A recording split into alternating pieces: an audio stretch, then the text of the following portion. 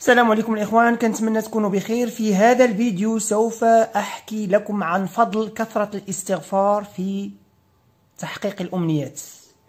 آه، في هذا الفيديو غادي نهضر على هجرة ديال أحمد بن حنبل عالم مشهور أحمد بن حنبل. آه، هاجر من من أجل طلب العلم من أجل البحث عن آه، الأحاديث حيث كان هو كيجمع الأحاديث غنقلبها للدارجة. كان كيجمع الأحاديث. غادي نحاول نعاود لكم هذه القصة اللي هي حقيقية بالدارجة إن شاء الله. هاد السيد هاجر لواحد البلد ما عنده تما حد يبحث أو لا طلبا في العلم وطلبا في البحث عن العلم يعني كيبغي يصحح الأحاديث يتأكد منها إلى آخره حيتاش هو ساهم في جمع الأحاديث. هو خلق في 164 هجرية تتلمذ على يد الشافعي. okay إذا قلنا هاجر مشى لواحد البلد من أجل طلب العلم. ماشي طلب العلم يعني كيقرأ وإنما كيفتش على الأحاديث كيجمع الأحاديث. ملي وصل لديك المدينة اذن عليه العشاء مشى صلى في واحد الجامع. ملي صلى في الجامع وبغى ينعس. تما حيتاش ما عنده فين غيمشي. بغى ينعس كيجري عليه الحارس. قال له لا والو ممنوع تنعس هنا اودي الله يهديك كذا نعس شويش راه قال له غير بعد ساعات كذا قال له لا والو ما كاينش غتخرج. خرج مسكين بقى في عتبة الباب قال زعما غنعس هنايا خرج داك العساس وجرى عليه من تما وبقى في الشارع. واحد السيد كان عنده تما المخبزه يعني كيبيع الخبز يعني كيعجن. شافو قال له يلاه تمشي معايا. ملي مشى مع هذاك السيد مشى مع أحمد بن حنبل آه، ضيفه قال له مرحبا ما عندك حد؟ قال له ما عندي حد أنا جيت هنا كذا ما بغاش يقول له أنا أحمد بن حنبل حيتاش هو عالم مشهور معروف. إذا قال لهم أنا أحمد بن حنبل يتهلاو فيه. إلى آخره هو ما بغاش يبين ما بغاش بحال زعما يتكبر ولا يبان عليهم ولا لا. هو يعتبر راسو إنسان عادي مواطن بسيط. مشى هذاك ضيفو بقى مع أحمد بن حنبل.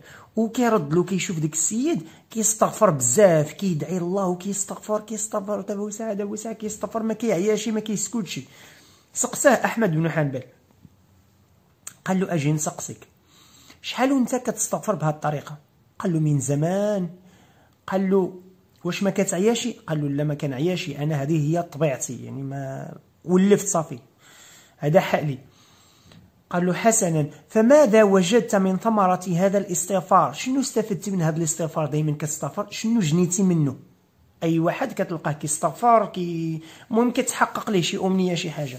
قال له سبحان الله بفضل الاستغفار أي دعوة دعوت الله إلا واستجاب الله لي. قال له أي دعوة دعيتها الله سبحانه وتعالى إلا واستجاب لي هذا الدعاء؟ قال له مزيان. كيستجب لك الله أي حاجة. قال له أي حاجة كيستجبها كيستجبها لله. إلا دعوة واحدة ما زلت أنتظرها.